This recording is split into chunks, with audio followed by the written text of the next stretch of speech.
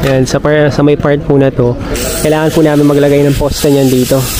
So, masyado pong mahaba yung yung parking niya nasa 6 meters. Tapos yung dito po nasa 7 7.6. So hindi po siya kakayanin. So kailangan po namin maglagay ng poste niyan dito. Isang poste po dito.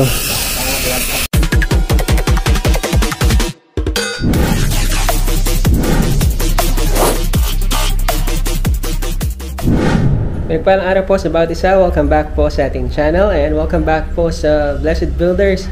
Ayan mga ka-blessed, maraming salamat po pala. Umabot na po tayo ng 10,000 uh, subscribers. Ayan sa ating YouTube channel. Maraming salamat po sa suporta. Naway pagpalain po kayo ng Panginoon. Ayan sa mga hindi pa po nakasubscribe. Ayan, sama na po kayo sa uh, pamilyang pinagpala. Ayan, sa Blessed Builders. Ayan, maraming salamat po sa patuloy na suporta. Uh, naway, uh, marami pa po kaming matulungan na client na matupad po yung pangarap mo nila na magkaroon po ng mga ng uh, sariling bahay at matupad po yung pangarap po nilang bahay. Yan, magbibigay po tayo ng mga quick update sa ating pong mga site uh, ngayong uh, vlog po ito before po tayo magsimula.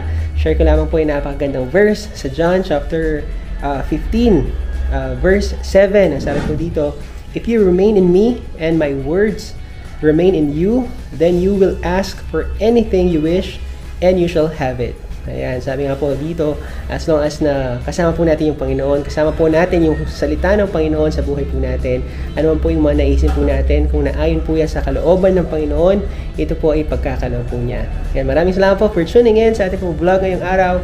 Mag-ingat po tayong lahat at pagpalain po tayo ng Panginoon. Ayan, uh, mga ka-blessed, uh, quick update lamang po tayo sa site po natin sa may uh, high view, ayan, sa may magalang. Uh, ongoing na po yung pagmamasilya po dito sa may uh, sa labas at saka sa loob. Yan tapos nagwa-wiring na rin po sila. Yan check po natin yung progress mamaya sa loob. Tapos sa labas po meron po tayong uh, a wall lamp dito. Yan isang wall lamp dito sa may uh, left side ng window. Meron po dito sa may uh, uh, right side ng window at saka dalawang uh, wall lamp po dito sa may uh, uh, garahe. Yan, sa dito. Tapos isa po dito. Tapos meron po tayong pin light na inilagay dito po sa may spandrel. Yan o. Spandrel sa dito. Tapos isa po sa may kabila. Yan, yung purpose po niyan para po sa... Actually, hindi man po sa lighting eh. Sa aesthetic lang po siya. Yan, para po kapag gabi, yan na... Uh, uh, nali, nasisinagan pa rin po yung, yung bahay.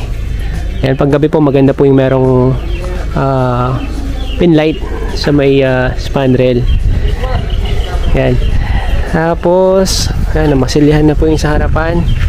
Yan, dito po wala po siyang masilya papansin ninyo uh, maglalagay po tayo ng uh, uh, wood tiles dito. Uh, yung nasa yung 20 by 100 po na tiles yan, actually dumating na po yung tiles kahapon yan dito po siya nilagay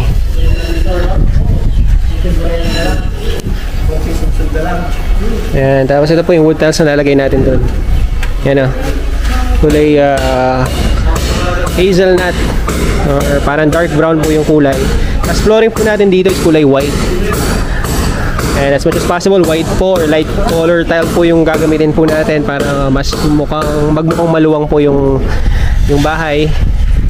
Uh, even yung interior po, uh, light color din po yung gagamitin po natin pati po dito sa may sa may exterior paint. Uh, light colors din po yung gagamitin po natin dito. Kasi yung pwesto po ng lot uh, na mga client po natin is afternoon sun po siya. So pag afternoon uh, dyan po yung dyan po nakaharap yung araw. So kailangan po is light color po yung gamitin po natin. Para hindi po mabawas po kahit papaano yung yung init ng bahay. Uh, check po natin sa may gilid yung bahay. Ayan. ongoing na rin po yung uh, yan yung pagmamasilya po nila. Yung pag-finish po nila. Sa labas na tapos sa ceiling naman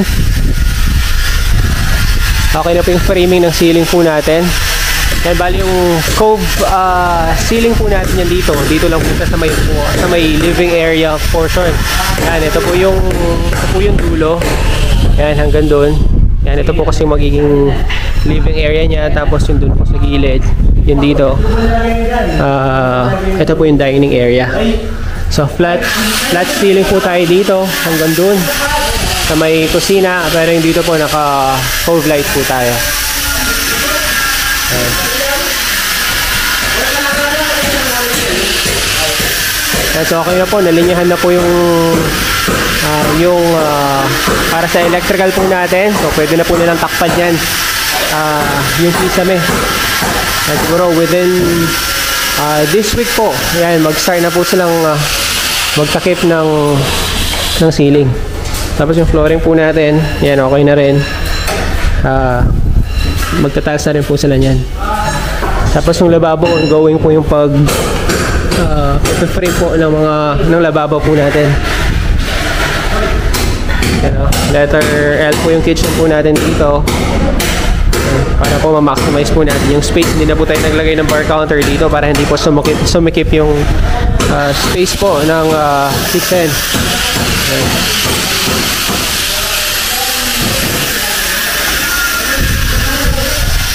Ayan, so ito po muna yung pinaka huling update po natin sa site po natin sa may Highview Magalang.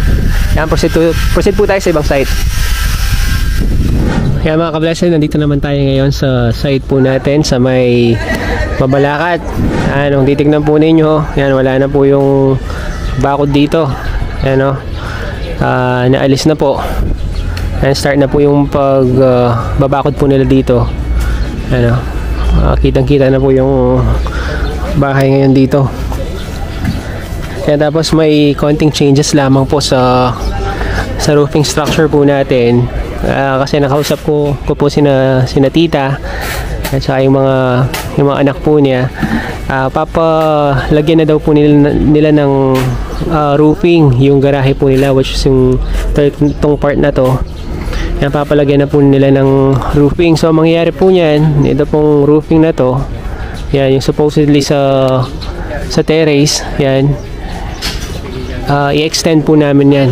Extend po namin yan hanggang dito.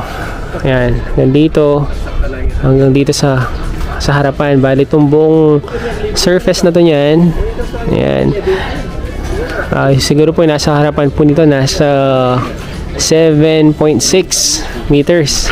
Yan, ipapabubong na po lahat yan. I, isasagad na po namin dito. Dito po kasi yung service area. Yan, sasagad na po namin dito yung bubong para hindi na po nababasa yung ah, yung service gate po nila, yung pedestrian gate. Yan, diretso po dito. Yan, 7.6 meters hanggang dito po siguro siya. Yan, ito. Yan, extend po namin yan para magkaroon na po ng garahe ito. Yan, balak po kasi ni na tita, in the future na lang yung garahe. Pero since para minsanan na po, yan pina, pinalagay na po nila para minsan ang trabaho po. Yan. So, check po natin yung progress sa loob.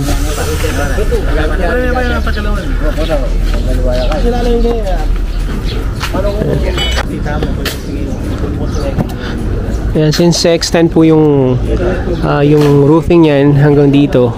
Yan, sa, par, sa may part po na to, kailangan po namin maglagay ng poste niyan dito. So, masyado pong mahaba yung yung parking niya nasa 6 meters. Tapos yung dito po nasa 7 7.6. So hindi po siya kakayanin. So kailangan po namin maglagay ng poste niyan dito. Isang poste po dito.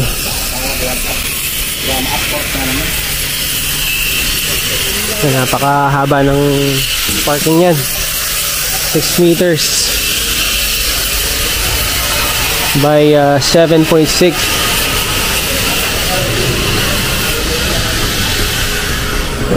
Yan, supposedly hanggang dito lang po dapat yung bubong niya.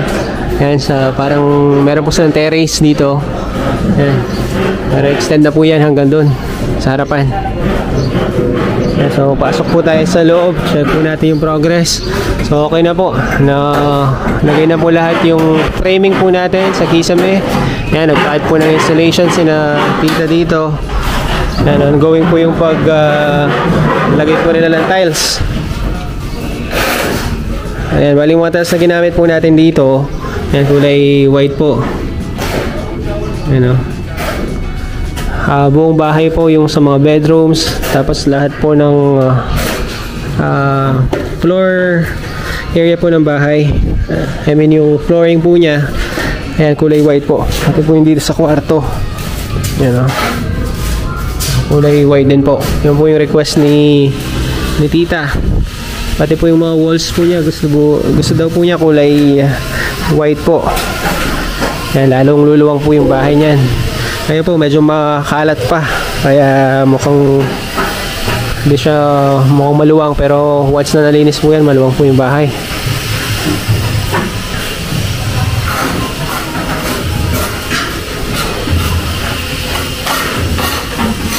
Ayan, tapos ito po yung kitchen natin. Meron po tayong bar counter dito. Ayan. Tapos yung cove ceiling po natin, dito po siya sa portion ng uh, uh, ng sala. Hanggang dito po siya. Ayan.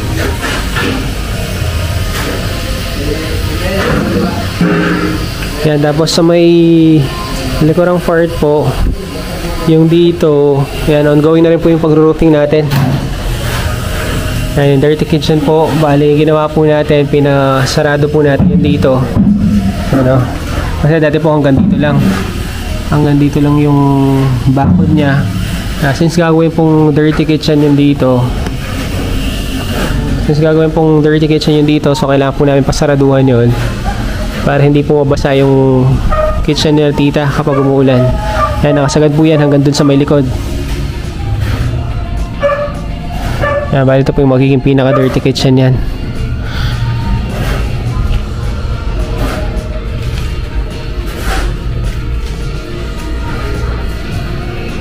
Yan, so mga kablas, ito, ito po muna yung pinaka-update po natin sa site po natin sa may Mabalakat. Ayan, proceed po tayo sa ibang sites. Ayan mga ka-blessed, nasa Covelandia site po tayo ngayon. Ah, makulimlim. Ayan o. Oh. Medyo maambon. Mukhang palakas po yung ambon dito. Papunta na ng ulan. At tag uh, na po siguro. Ayan. Ah, ilang araw na rin pong uh, ilang araw na rin pong uh, umuulan kapag uh, kapag hapon. Ayan. check po natin yung update ngayon. Nakapaglagay na po sila ng ano ng mga uh, canopies. Yan meron po tayong dalawang canopy dito. Yan dito sa may harapan sa may terrace. Saka dito po sa may uh, yan sa harapan po ng master's bedroom. Yan tapos ongoing po yung pag uh, pagtatayo po nila ng mga uh, partition sa may itaas.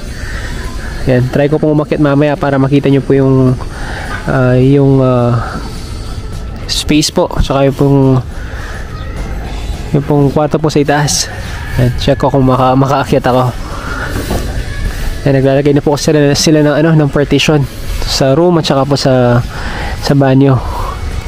Yan, tapos sa loob po na compactor na yung uh, buong bahay yan natambakan na po tapos nakapag uh, compactor na dito yan magpa-flooring na po niyan sila dito yan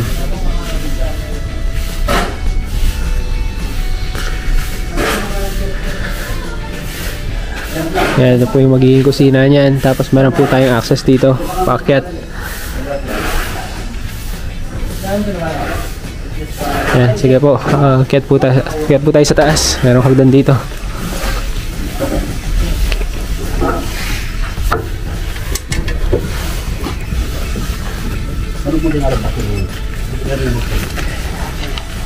Yan, bali itong portion po na to. Yan, ito po yung magiging kwarto niyan sa itaas. Tapos yung pong banyo, nandito siya.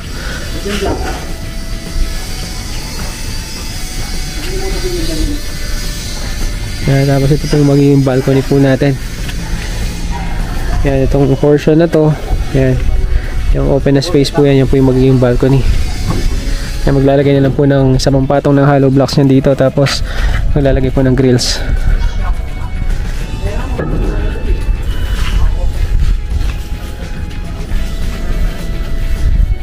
Yan, tapos ito po yung sa likod. Likod na part po ng bahay.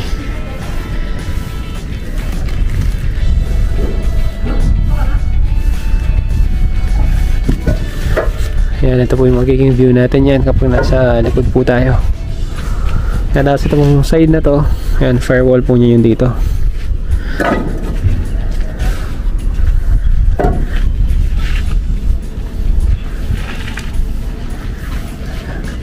Ayan, so, yan po muna yung mga update po natin dito po sa site po natin sa Maycoblandia.